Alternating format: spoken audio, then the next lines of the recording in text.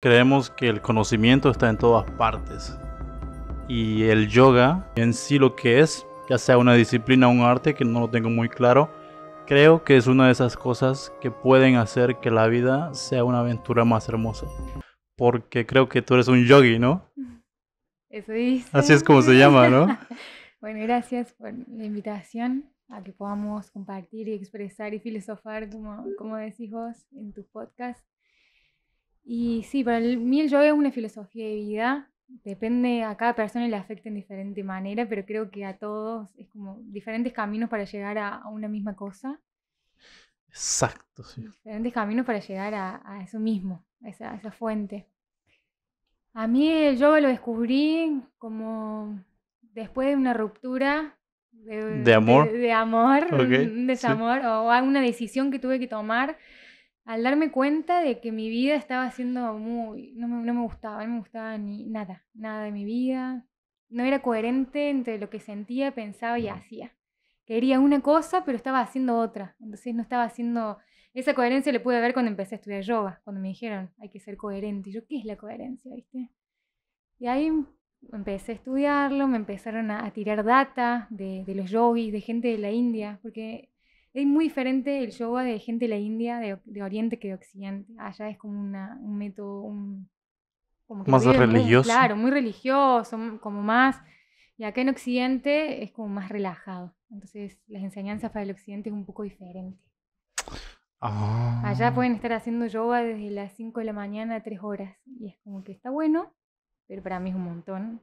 Pero sí puedo seguir ciertas cosas de los yogis que me ayudaron en mi vida, como esto de la coherencia, pararme en la vida y decir, bueno, a ver, no me gusta la vida que estoy llevando, ¿qué voy a hacer para cambiarlo? Y primero que me pareció es ser coherente, coherente en mi forma de pensar, de sentir o de actuar. Pensar, pensar, decir y hacer. Y ahí empezó a cambiar mi vida porque cada vez que hacía algo que no me gustaba y no me resonaba, tenía que empezar a dejar cosas. Dejar vínculos, dejar amigos, dejar actividades, cambiar círculos de todos lados. Que es difícil también porque ¿cómo dejo de esto salir? Tenía un grupo de amigos que salía, me encantaba salir, pero a la vez no era coherente porque al otro día me levantaba y me sentía re mal.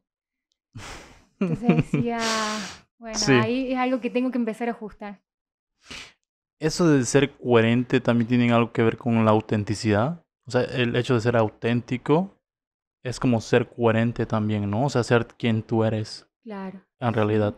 Es más o menos por ahí va esa filosofía que tú estás viviendo ahora, ¿no? Sí, porque ser auténtico es dejar de ser lo que los otros quieren que vos seas. Entonces, cuando empezás a ser vos sin miedo a que los otros digan, te digan algo, empezás a ser auténtico. Y sos coherente con vos mismo. Entonces, por ejemplo, yo hacía ciertas cosas porque la sociedad dice que estaba bien esas cosas se hicieran, pero a mí no me hacían sentir bien. Entonces, al dejar de hacerlas, porque yo sentía que no me hacían bien, empecé a ser más auténtica, porque empecé a hacer yo y a hacer las cosas que a mí me gustaban. Me empecé a autodescubrir, ah, che, esto al final lo que dice la sociedad que está bien, a mí no me gusta, entonces, ¿por qué lo hago? Y ahora dejo de hacer esto y empiezo a descubrir qué soy. Y ahí empieza mi autenticidad. Para hacer ese cambio se necesita coraje, o sea, tú necesitas valor, coraje, o todo pasó naturalmente. No, se necesita mucho coraje y valentía.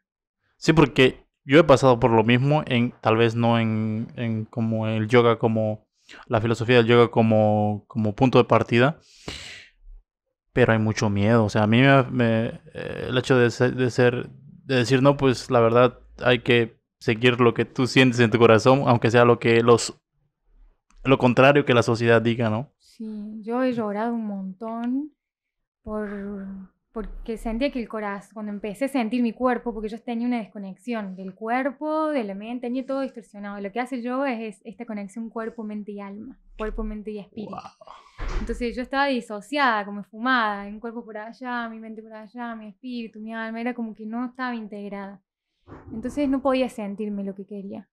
Pero cuando empecé a sentir, empecé a conectarme con quién soy, qué quiero, qué me gusta, qué no me gusta, qué voy a aceptar, qué no voy a aceptar, eh, empecé a sentir acá en el corazón cuando algo no me gustaba. Y era como, esto no me gusta, ¿y cómo hago para dejarlo? ¿Cómo hago para dejar esto que no me gusta? Y eso, la vida se envasa en base a decisiones. yo decido algo y las decisiones nos va creando nuestro presente y nuestro futuro. Entonces, cuando me di cuenta que tenía que empezar a tomar decisiones fuertes para cambiar mi vida y la vida que yo deseaba y que a mí me gustaba, tuve que empezar a romper cosas, a romperme por dentro y a, empezar a contarle a los otros, che, esa que vos conocías ya no soy, yo ya no soy eso. Hay gente que no aceptaba la nueva tú, o sea, la nueva persona que tú eras. Y sí. O la que te convertiste. Me decían, ¿qué te pasa?